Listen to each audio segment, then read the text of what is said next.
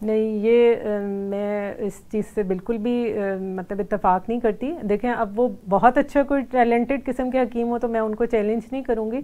हो सकता है उनके पास कोई ऐसी मेडिसिन हो लेकिन अभी तक जो मेरे क्लिनिकल एक्सपीरियंस में है बहुत सारे लोग दवाइयाँ ले रहे होते हैं कुछ स्टीरोइड्स कूट के दे देते हैं कुछ जड़ी बूटियाँ दे देते हैं कि ये आप प्लेस कर लें तो इससे आपका इन्फेक्शन ठीक हो जाएगा। तो वो ठीक होने की बजाय फर्दर प्रॉब्लम जो है वो एग्रीवेट हो जाता है। तो डेफिनेटली आप अब तो साइंस ने इतनी तरक्की कर ली है मेरा नहीं ख्याल कि लोगों को इस चीज़ की तरफ़ जाना चाहिए। आप प्रॉपर गायनाकोलॉजिस्ट को विज़िट करें प्रॉपर मेडिसिन लें क्योंकि अगर आप ऐसे मेडिसिन लेंगे तो बजाय वो जो सिर्फ़ एक वजाइनल इन्फेक्शन था वो इन्फेक्शन ट्रेवल करके आपके बच्चेदानी में अंडेदानी में और ट्यूब्स में चला आगे जाता आपको इनफर्टिलिटी कॉज इनफर्टिलिटी कॉज करता है। मैं उसी तरफ़ लेके जाना चाह रही थी कि वजाइनल इन्फेक्शन अगर बहुत ज़्यादा होना शुरू हो जाए तो वो जब बच्चेदानी की तरफ़ चला जाता है और फिर उसके बाद साइड पे दो ट्यूब्स होती हैं उनकी तरफ़ चला जाता है तो वो ट्यूब्स को ब्लॉक कर देता है। और ये पेशेंट्स जब बिकॉज़ मैं एक इनफर्टिलिटी स्पेशलिस्ट भी हूँ बहुत सारे पेशेंट्स मेरे पास इनफर्टिलिटी के साथ प्रेजेंट करते हैं तो उनमें एक main reason of infertility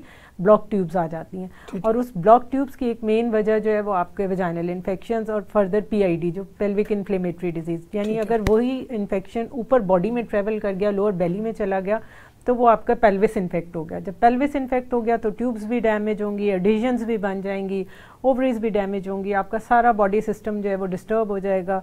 अंदर ऐसे जरासीम बन जाएँगे जो कि हमल को ठहरने ही नहीं देते। या ठहरता है तो एबॉर्शन हो जाता है या हमल होता नहीं ट्यूब्स ब्लॉक हो जाती हैं और फिर उसकी कॉम्प्लिकेशंस आगे। तो दिस इज़ वेरी इंपॉर्टेंट कि आप वजाइनल डिस्चार्ज को ट्रीट करवाते वक्त ईजी ना लें कि आप किसी भी हकीम की दवाई ले लें या किसी भी दाई के पास चले जाएँ।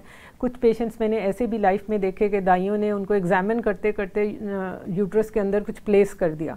और जब हमने उनको हिस्ट्रोस्कोपिकली कैमरा डाल के आप चेक करते हैं तो अंदर से लूप्स निकलते हैं, लिपीज लूप्स कहते हैं हम, या कोई डंडी निकल रही है या कोई ऐसी चीज़ क्या जी ये इन्फेक्शन बहुत ज़्यादा था तो इसलिए दाई ने रख दिया होगा। और मरीज़ को पता भी नहीं होता।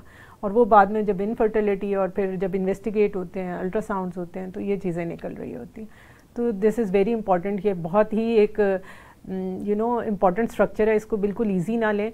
अल्लाह ताला ने एक पूरा सिस्टम रखा है, आगे आपकी फ्यूचर लाइफ आपकी फर्टिलिटी आपके फैमिली सब इसी के ऊपर डिपेंड करता है तो never ever take it light